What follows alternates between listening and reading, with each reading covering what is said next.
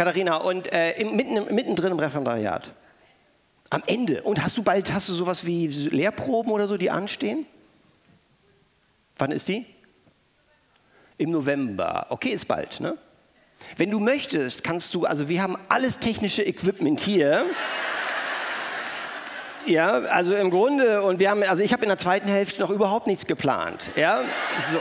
Das heißt, mein eigener Unterricht ist eher schwach vorbereitet und wir würden uns alle, Klaus, oder wahnsinnig freuen, Hendrik, wenn du in der zweiten Hälfte, ja, wenn ich mich komplett zurückhalten würde, ich würde, ich würde komplett rausgehen, ich würde mich hier hinsetzen, ja, einfach so und würde und dann Katharina übernimmt komplett den Unterricht. Das wäre schön, oder? Das wäre spannend, ey.